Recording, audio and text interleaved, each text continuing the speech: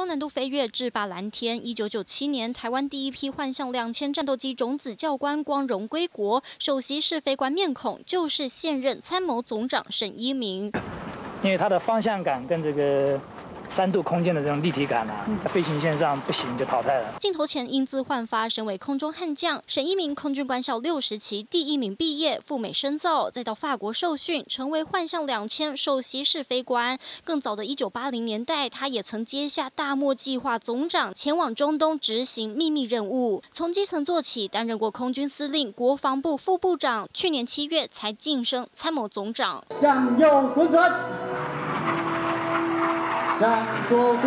国军三型主力战机沈一鸣全部驾驭自如，涉外能力有目共睹。我觉得他比较是有一点类似于一个书生型这样，觉得应该是一个不错的一个将领，所以我们老实说。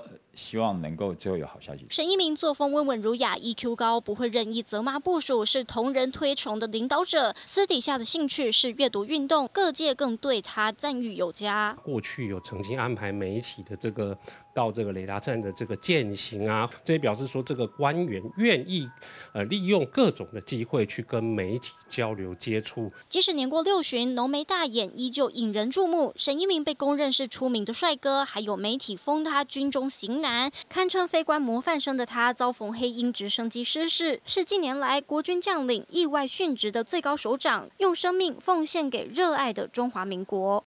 第三只，第四只，最后一只，好都有。救难队员小心翼翼测试每根脚趾头有没有反应，所幸并未伤及神经。军文社新闻官陈英竹躺在担架上幸运获救，军方证实飞机迫降当时第一个发出求救讯息的就是他。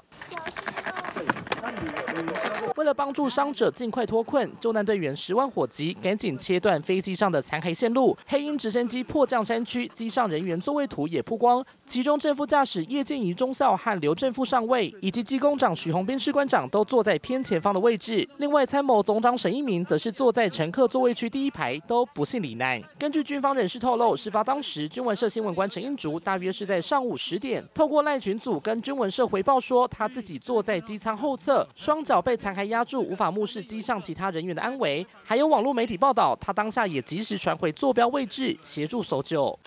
扛着摄影机，忠实记录军装各项活动。七十三年次出生的陈英竹，原本在陆军服志愿役，待在部队当医护士，之后转换跑道，目前担任军文社新闻官，还是军方第一位女摄影师。这回遇上迫降事件，她第一个发出求救讯号，让救难队员把握第一时间即刻救援。